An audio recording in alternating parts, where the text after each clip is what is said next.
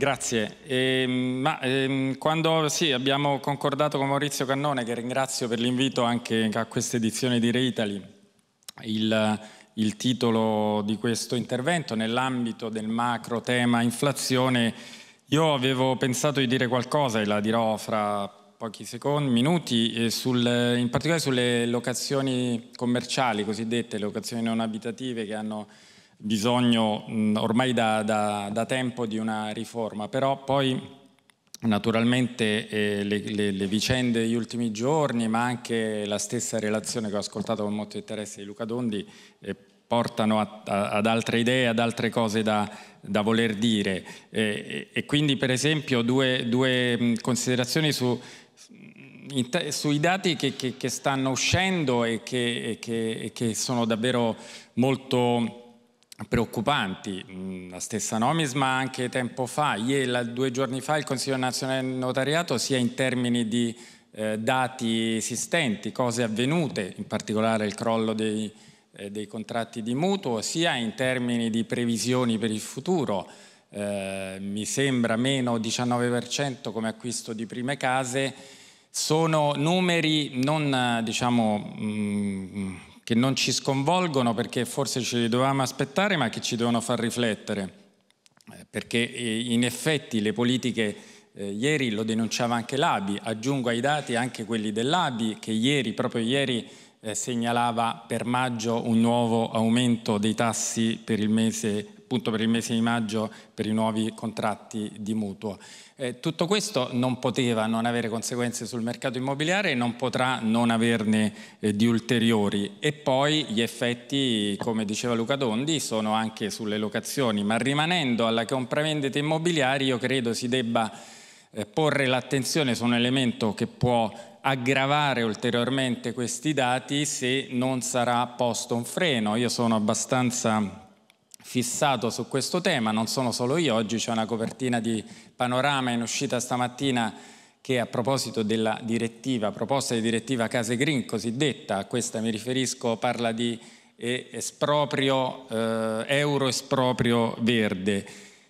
I termini che si possono usare sono diversi, io credo che però che già oggi sul mercato immobiliare ci sia un effetto di una proposta di direttiva, cioè di un testo che non ancora eh, vigente né in Europa, figuriamoci eh, in Italia che eh, avrebbe bisogno della eh, trasposizione della, in, una, in un decreto legislativo di recepimento, ma gli effetti sul mercato, il mercato non ragiona con le gazzette ufficiali né col bollettino della Commissione europea, ragiona con le sensazioni e io credo che già ora quella direttiva pur non essendo in vigore, ha effetti sul mercato immobiliare perché come minimo sposta in avanti alcune trattative, perché è evidente che qualsiasi acquirente di un immobile, la stragrande maggioranza in classe energetica bassa, chiederà, chiede, sta chiedendo, ha chiesto al proprietario di eh, ridurre le proprie pretese ed è evidente che poi questo effetto si riverbera sul totale, sulla totalità degli immobili senza salvare troppo quelli di classe A, secondo me con una riduzione del valore. Quindi il mercato immobiliare a mio avviso ha prospettive davvero molto negative. Diceva Luca Dondi gli effetti sono sul mercato degli affitti, ma il problema è, è che poi i nodi vengono al pettine e sul mercato degli affitti certo c'è un effetto perché devono eh, ehm, diciamo, arrivare, arrivano a questo mercato soggetti diversi dai soliti. E quindi in Italia tradizionalmente lo sappiamo e ce ne lamentiamo un po', ci sono state tante ricerche da questo punto di vista, la locazione è vista solo come diciamo, eh, così, ancora di salvezza per chi non riesce ad acquistare, vorremmo tutti che fosse un mercato diverso, una, una possibilità di scelta, soprattutto per chi deve eh, lavorare in posti diversi e deve muoversi e, deve, e si deve favorire la mobilità sul territorio, ma sappiamo che la locazione per ora in Italia è stato questo e lo sarà ancora di più con chi arriverà, il ceto medio, ex medio, non so come definirlo, che si trova in difficoltà. E però, dicevo, i nodi vengono al pettine perché la locazione va tutelata, la locazione va tutelata sul piano delle... Eh, diciamo, garanzie di rientro in possesso dell'immobile al termine della locazione stessa o in caso di morosità. Non a caso i grandi operatori eh, mi si smentisca se non è vero, eh, rifuggono ancora molto da questo tipo di, eh, di, utilizzo dei loro immobili e va garantita e va incentivata sul piano delle politiche fiscali, cosa che insomma, per le persone fisiche è certamente avvenuta a partire dal 2011 con la cedolare secca sugli affitti, però messa ogni giorno in discussione. I nodi vengono al pettine perché perché poi eh, le persone agiscono come sul mercato della compravendita, agiscono anche sul mercato degli affitti e quindi non si può affrontare il tema, per esempio, anche qui richiamo quello che diceva Luca Dondi, delle locazioni brevi con l'ottica che sta avendo attualmente il Ministro del Turismo, e cioè beh, il Ministro del Turismo spinta da uh, alcune categorie e da, e da alcuni sindaci, cioè vietiamo qualcosa che non ci piace.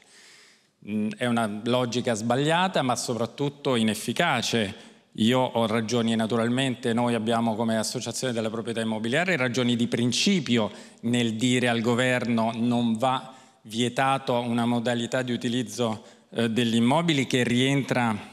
nell'esplicazione del diritto di proprietà, ma anche per chi non ha a cuore il diritto di proprietà, insomma il buon senso ci spinge a dire che non è con i divieti facilmente peraltro aggirabili che si può affrontare un tema, ma eventualmente con gli incentivi. Se io voglio che ci sia più locazione lunga, parlo molto semplice e chiaro e forse anche troppo, troppo semplice, devo incentivare la locazione lunga, non devo punire la locazione breve. È un tema enorme soprattutto per quello che leggevamo con riferimento al nuovo accesso all'immobile in locazione da parte di chi eh, prima non vedeva questo tipo di mercato. Quindi lo diremo, lo continueremo a dire al governo, eh, tutela maggiore della proprietà perché si fugge dal contratto di locazione lunga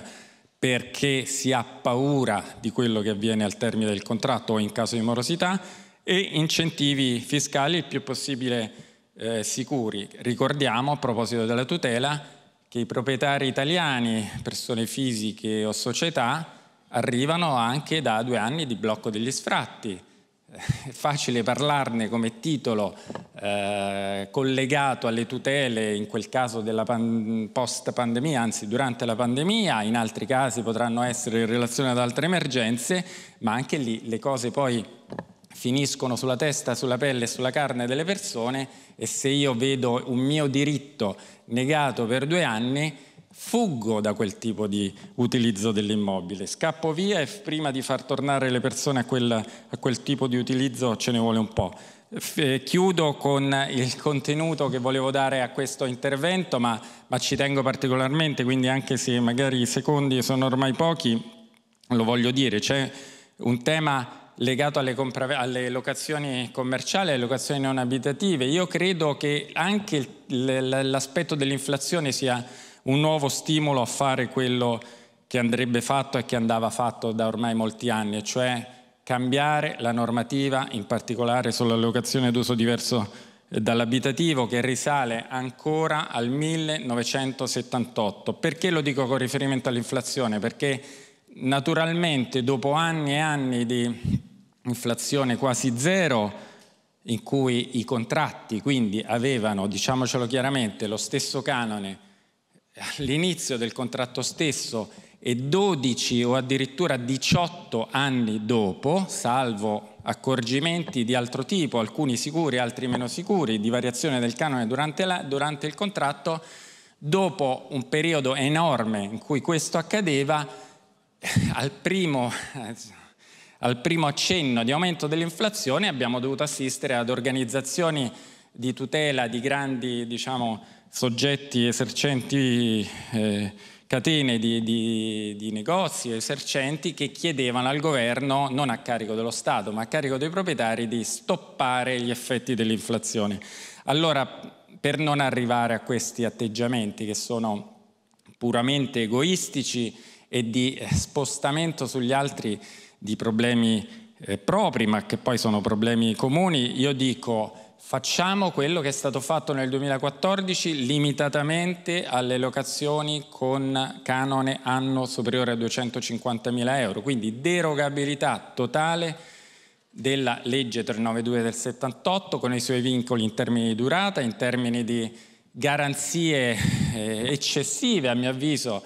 per il conduttore, ma garanzie diciamo sulla carta, nel senso che per il conduttore esistente sono tali, ma per il conduttore eh, a non lo sono, è più difficile entrare in un mercato e, e, e favorire appunto l'incrocio fra domanda e offerta. Chiudo leggendo quello che scriveva il governo nel 2014 quando ha, fatto, ha, ha, portato, eh, ha fatto diventare legge quella norma di deroga Diceva il governo che bisognava valorizzare l'autonomia privata, e di questo sto parlando. Diceva che la disciplina che risale al 78 continua a presentare rilevanti elementi di rigidità che non hanno pari nei principali paesi europei. L'evoluzione del sistema economico ha portato a constatare come le originarie esigenze di tutela che, volevano, che vedevano a prioristicamente nel conduttore il virgolette, contraente debole risultino largamente superate la disciplina attuale vincolistica limita le libertà delle parti di regolare liberamente il rapporto, predeterminando in molti elementi essenziali il rapporto stesso e creando rigidità che rendono meno appetibili gli investimenti nel mercato italiano rispetto ai mercati esteri e costituiscono un freno allo sviluppo del mercato delle locazioni commerciali e degli immobili ad uso turistico. Questo è stato detto, scritto nella relazione che accompagnava il provvedimento nel 2014 che era un po' stimolata da Confedilizia, ma Confedilizia l'aveva stimolata per tutte le locazioni, poi una manina, come si usava dire un tempo, l'ha limitata a una parte molto ristretta delle locazioni. Quindi colgo questa occasione chiudendo per rilanciare la nostra proposta di finalmente liberalizzare le locazioni ad uso diverso dall'abitativo a beneficio non dei proprietari ma di entrambe le parti contrattuali e dell'intera economia. Grazie.